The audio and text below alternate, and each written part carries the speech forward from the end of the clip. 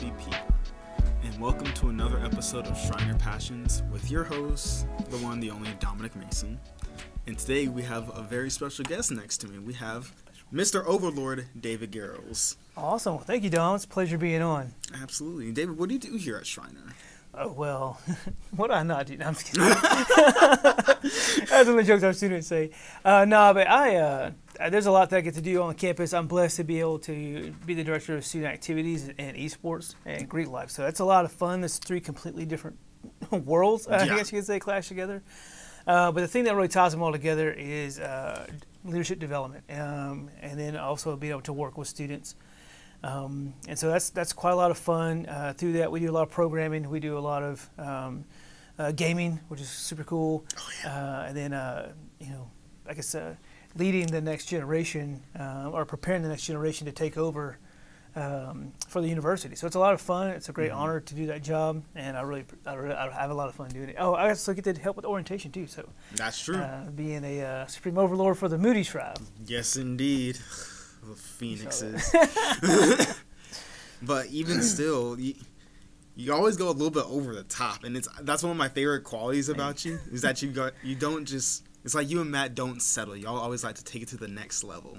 Like even with uh, for my senior year when we did uh, the greatest show as our intro Yeah, for the not near mentors. Y'all had so much fun doing that. You with the lights, Yeah. us with all the choreography. That was an intense ride. Well, I say it's something that's uh, it goes back to you know a quote that you know Dr. Huber and Dr. Cooper were using before I, I got here, and I obviously kind of believe the same thing. But it's it's what's the difference? It's from Megamind. What's the difference between uh, a, a, a, a villain and a, super villain? Presentation, right? and so we're all about that, and that's kind of the theme of our whole entire office. And so. I think it that's what makes it more fun. Alrighty. Well, speaking of presentation, I'm Mm-hmm. bringing you on for a passion that you love. Uh, your passion for movies. How did that start? Sweet. Uh, yeah. Um, always loved movies, right? Movies, film, gaming, those types of things. But for me, uh, watching a movie, um, it's, it's kind of always your escape from the world that you live in, right? Right. So, uh, you know, I like being David. David's super cool. Uh, I like who I am. Uh, and I've always liked the places that I live. But what if David could go on an adventure somewhere, right? What if I was on a ship, uh, you know, and swashbuckling with, with pirates or whatever? Or what if I was, uh, you know, this muscled up, beefy barbarian, right? You know, uh, crashing through the walls and, you know, uh, being, you know, super strong or whatever, or a, a superhero or a, a doctor, um, those types of things. And so for me, for me, movies was always like an escape from the real world a little bit, so kind of like a cathartic psychology, I guess you could say. Right. Um, and so I've always enjoyed that. I, I find a lot of times when I watch films, um, I, I really like I really watch films. Right. So you know when someone's uh, running out of air because they're drowning, right? In a movie like Leviathan or, You start or to feel it in your yeah. chest. you know, uh, I'm like, oh my gosh, oh my gosh. I, I literally stop breathing. And then I'm like, oh, I'm, I can breathe. I'm not underwater. This is totally fine. I'm not underwater. Or if someone, you know, is getting, you know, someone's uh, goes through like uh, a lots of emotion, right? Uh, and, and they're crying at the end of the film. I find myself crying at the end of the film. Mm-hmm. And my earliest memory of that was Karate Kid when he finally won. People are like, really? and the free frame. yeah, just me and Daniel, you know, fighting Johnny. And that Mm-hmm. was, you know, I helped him win. That's, so I've always seen movies like that as an interactive type of a thing for me. Awesome, awesome. So with your love and passion for movies, I'm really surprised that you didn't try to go like the Hollywood route and go into production or direction or anything like that. What's that? I mean, not that I didn't want to, uh, you know, but um, I think a lot of times there's a couple of factors that play into that. One, growing up in a really small town, uh, it's it's tough to, to to do that type of thing because there's not really the environment either, you know, that we have today with with Facebook and social media, uh, YouTube, and how how relatively cheap equipment is for you to be able to get now that can do high quality stuff. Um, we didn't have that, you know, when I was growing up. You know, to find a video camera, I mean, you were you were somebody rich on the block. you know, Yeah. right? And they were like this big and came in a briefcase, right? and, um, and so uh, the opportunity wasn't there like it is today. One thing, but two, also uh, kind of like when I was a child or uh, a young, you know, younger teenager, you know, early twenties, uh, very extrinsic motivated type of a person. So people's thoughts Yeah. about me or whatever made me nervous to do certain things. Man, can I Um, relate? But uh, I guess in the last uh, little bit, um, I've you know I've tried to come over uh, overcome that. Mm-hmm. Uh, I, I mean, some of my movie producing career is very short, uh, ladies and gentlemen. I did uh, I did two shows, right? Um, uh, produced uh, a movie where um, Anakin Skywalker took on all the Jedi's, um, and then also another one where. Um, uh, heavy duty is a GI Joe guy, right? Fought Snake Eyes, um, and that is uh, that was uh, definitely. Um, oh, the Hulk was involved in that one, so that was cross-platform. But that was all action figures, right? And Oh it was uh, stop motion, of course. and they're uh, both very short and very horrible with no sound. So oh well. it's like with the silent films, man. That's why it's the talkies now. that's true. That's true. Um, but yeah, that's as far as I've ever gone. Um, I mean, lately production has been able to. I, I'm, something I'm, I'm able to learn uh, making these shows that we're doing. Uh, Right. And then I, I threw myself out on karaoke uh, to uh, for episode one of Schreiner Live. So Oh, yeah. We'll see how that goes. week. Yeah. yeah, ugh. But that's uh yeah that's that's where I went there. So I was the kind of guy that would settle more for the sound booth and light booth in Mhm. theater than the stage, um, just because of I was always so nervous about getting in front of people. I understand. So I know that you you watch a lot of movies. I watched a lot of movies. Yeah. You've seen a myriad of movies, many more than me. but I'm gonna put you on the spot. I want you to name. Let's go with five. Let's go with your top five movies, the ones that you just wouldn't get tired of. And if you could, if you eternally had to watch five movies for the rest of your days, which five would it be? Only five movies, back to back to back to back. Okay. All right. First one's easy, right? I could cheat and say any Star Wars film because uh, you know that's everybody. Everybody knows that about me. I'm a slight Star Wars fan, but um, I'm only going to pick one from uh, from that uh, legacy there, and I'm going to go with Empire Strikes Back, Mm. Episode Five. Uh, probably my most favorite movie in the world. Like I watch it all the time. Really? Um, let's see. Uh, I, I, th- I think the reason I like that one so much is um, the plot twist uh, at the uh, right. I guess right there in the Yeah. middle of that film, you know, or I guess close to the end, Mm-hmm. right when uh, you know Luke Skywalker's finally got enough courage to go fight Darth Vader, and he's not scared of him at all. But he's he's getting his you know he's getting whooped, and he Mhm. finally gets beat down a little bit. You know, cuts his hand off or whatever Yep. and he's at his weakest moment ever, and that's when the baddest dude in the galaxy drops it on you. Oh yeah, I'm your dad, by the way. Um, and I was like, Obi Wan, you liar, you know. it was in the same boat. But in that same regard, he just cut off his son's own hand. that's, I, well, that's true. That's true. but I mean, that's a that's a um, I guess a plot twist that's lost on the current generation, right? Uh, Right. you go back and watch those films, everybody knows that Darth Vader is Luke Skywalker's dad. Mhm. Um, but for me, that was probably the most cool moment I remember in in watching a film. The revelation, even as a kid, when I was like, "Wow, I've hated this guy for so long and liked this guy for so long," right? Because there was a long time in between those two films Yep. because of the technology of the day.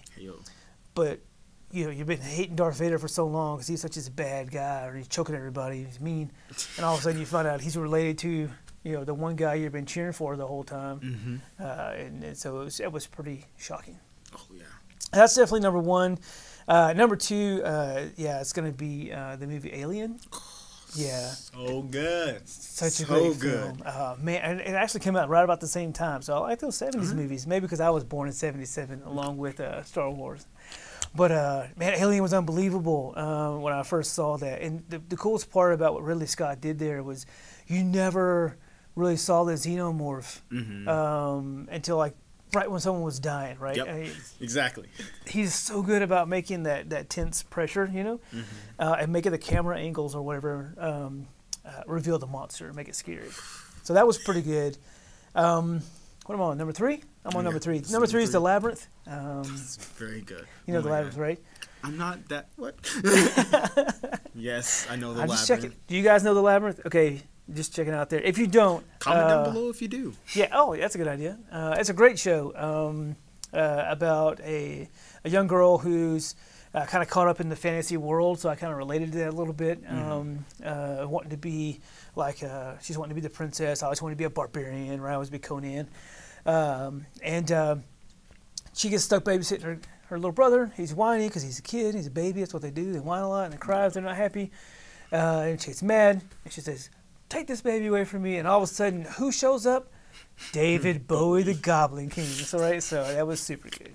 And then the rest is her adventure trying to get her get her brother back. She realized she made a mistake. Mhm. Cool zany characters in there, and so it was a lot of fun. Nice. Um, and then uh, number four, uh, number four movie. If I had to watch all the time, what would I watch? Um, I'd probably say uh, Demolition Man. Um, that's a. Uh, good. That was my first time to ever see Sandra Bullock in a film. That's Hmm. also, I think, Benjamin Bratt's first film ever he, he ever made too. And they, Hmm. they also co-star in uh, Miss Congeniality not too much after that, right? That's a But, really uh, good movie. it's a good show.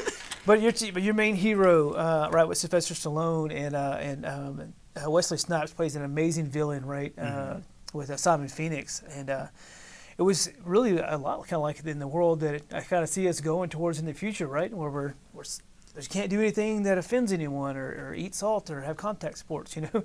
in the film, it was kind of relatable. Um, we actually tricked my English teacher one time and uh, let us watch that movie in class because uh, it, we we told her it was like a remake of a Brave New World. we were reading that book just because Wesley Snipes says it's a Brave New World, right? Um, so that one's really Oh good. gosh. And then uh, I guess the last one, uh, I might- I might have to pick, pick a Chris Tucker movie, so Mhm. um, it's probably going to be uh, The Fifth Element. 'cause I, I like that one a lot too. That one's really good. That's probably my top five. Okay. So now I'm gonna put you on the spot here Mhm. a little bit. You've seen so many movies, and you've probably picked up a few tips yourself. Okay. But now I'm gonna put you on the challenge. In if you had no bar on budget, no bar on actors, Yeah. Would you do a remake of a film or a brand new film? And who would you hire? What would you do? Well, uh, first part of that question is simple, right? Mm-hmm. I'm not a big fan of remakes because most of the time a film you know that that made it made it for a reason, Exactly. right? That's why um, when you look at things like um, you know the Clash of the Titans or Yep. yeah, a great film, or uh, Conan the Barbarian, right, which is a, a film I like. They did a remake of um, Charlie and the Chocolate Factory or Willy Wonka. I can't Oh, remember which one comes first now, but and the remakes were great. Don't get me wrong, they were fine. Um, but there's a reason that those first movies were hits. Like you take Clash of the Titans, and I know that by today's uh, CGI standards and, and those types of things, that the effects were rudimentary, but the storyline was so good, and even for those times, I mean, when Medusa comes crawling out there, those you could tell it's fake, but Absolutely. it was unbelievably cool. You know, you didn't see anything like that back in those days. Ray Harryhausen was um, was was amazing on his special effects. Um, so that part, yeah, uh, I wouldn't. I try not to remake a film, but the actors part, I think what I would go with is uh, I'm, I'm going to put. Um, Hands down, I'm putting Samuel Jackson in my film. So he's the first guy I'm going to cast. Um, uh, and uh, so I'd like to see him though in a film, probably a comedy, right? Um, because I like his comedy. Um, but I want to see him act alongside of Kevin Hart and Chris Tucker. Okay. So I think that'd be funny. Watching all three of them, and then throw Wanda Sykes in there because I, I like I like oh my god. everything she does. Um, and then I need to put like like a younger actor in there, you know, with all those guys. So I was thinking So, maybe the uh, maybe that dude that plays McLovin from Superbad. oh my god. I think that would be great, right? What? What is that? I can't remember the actor's name. I I have it. no clue. He was Oh also uh, in some other movie with um, uh, Seann William Scott and uh, Mhm. Ant Man. I can't think of Ant Man's name right now. She's, once you're in a Marvel film, that's who you are to me. right. Uh, so he was in there with Ant Man, and uh, at the end of the show, um, role models. That's what it was. oh my gosh. At the end, they had to do like a live action role play of Dress as Kiss. Yeah, that's right. So maybe, oh, maybe we'd re- remake that those live action role play series hmm with those people in it instead. Wow. Right, and so uh, Wanda Sykes is the love interest for McLovin, hmm right? Because he reenacts this thing, and then his supporting cast are uh, the other three. Oh my god. Probably wouldn't be suitable for, for kids though. Sam Uh, Jackson. Probably not. Right? Like what? PG thirteen or R. Yeah, I mean he's probably. I mean his quotes are probably the most easy quotes to memorize because you know they're they're interesting. Yeah. But uh, but that's my whole brain. You know, it's just, it's quotes and uh, and dad jokes, and so that's really, that's the film I'd probably make. That's awesome. Well, thank you so much for being on the show today, David. I really appreciate Yep. you being here. All right, everyone. Uh, this has been Mr. David. sorry, Overlord, Mr. David Gehrels for the Moody Tribe, Mhm. and I am your host, Dominic Mason, and this has been Schreiner Passions. If no one's told you they love you today, we do. See you next week.